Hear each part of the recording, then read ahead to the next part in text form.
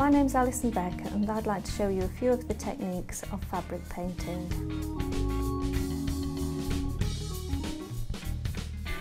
We're going to create a cushion cover and we're going to use the Marabu glitter pens.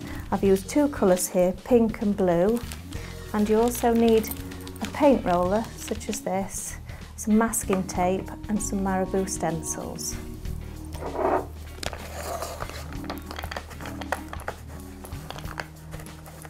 So it's really easy. You just put masking tape to keep your stencil nice and firm and then you just um, roll it on and press down really firmly. So with the top butterfly I'm going to actually mix a bit of blue with the pink so it's going to be a bit multicoloured. And again you press down really hard.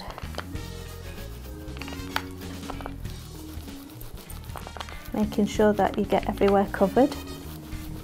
As you can see, it's really a quick thing to do and you can decorate bags, cushion covers, clothing. Right, so we've done that one. We're just going to move the stencil over.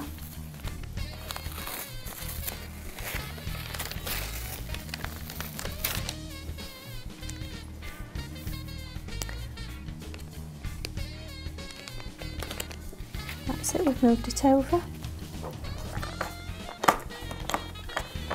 Just get a bit more paint on the roller.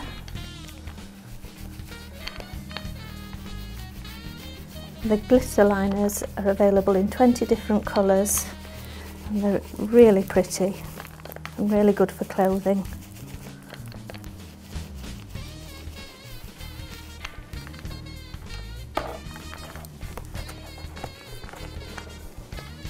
One left to do.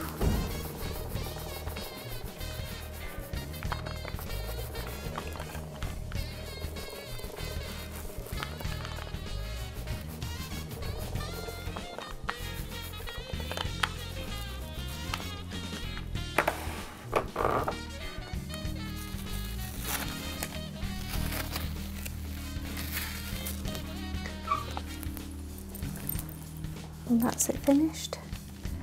Now, once you've actually done that, you've got to let it dry for a couple of hours and uh, you can speed that up by using a hairdryer if you like and then you have to iron it by putting a cloth on the top of it and ironing it on a cotton heat setting for three minutes.